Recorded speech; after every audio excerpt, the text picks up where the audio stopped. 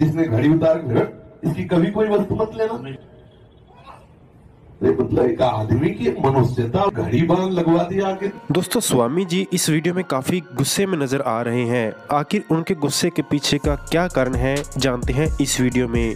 दरअसल पिछले साल एक व्यक्ति ने उनके भक्तों को एक घड़ी गिफ्ट में दी थी जिसे उन्होंने सामने दीवार पर टांगा था।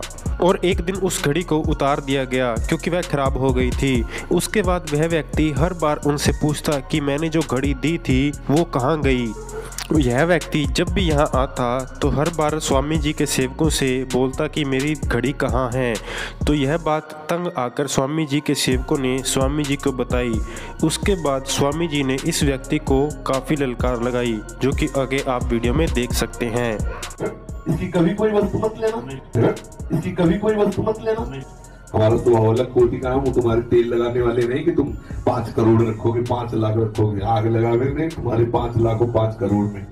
हमें मतलब बहुत बुरा लगा कि तुम हमारे साधक से पूछते हो कि कौन है इसमें जिसने घड़ी उतार हमें अभी बच्चों ने बताया कि तुमने कभी पीछे वर्ष में घड़ी दी होगी दीवाल घड़ी।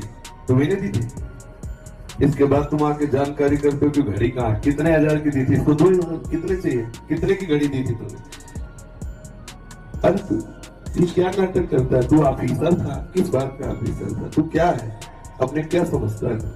बाबा जी को भिखारी समझ लिया? तू गोसाई जी के संबंध से इसलिए तेरी घड़ी लगवा दी थी। तो कितना घटिया विचार वाला आदमी तू है। अपने को बड़ा ऑफिसर समझता है तो। अपने को बहुत कि मैं बहुत बड़ा ऑफिसर रहा हूँ। संतों को भिखमंगा समझता है क्या तू?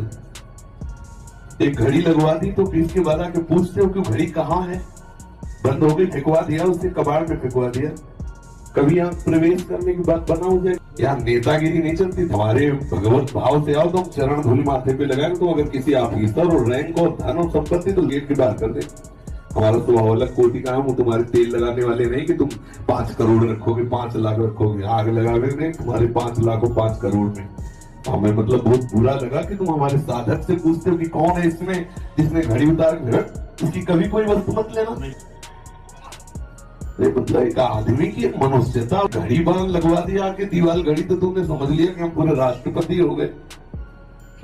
चलो दूसरी कभी भी यहाँ कोई भी व्यक्ति ऐसी वस्तु ना दे जिस पर कभी